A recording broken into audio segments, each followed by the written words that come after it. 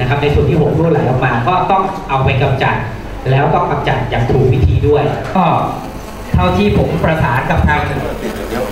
เดี๋ยวเข้ามาเลยผู้ที่อยู่หน้างานนะครับ ก็จะขอเวลาประมาณสักหนึ่งถึงสองชั่วโมง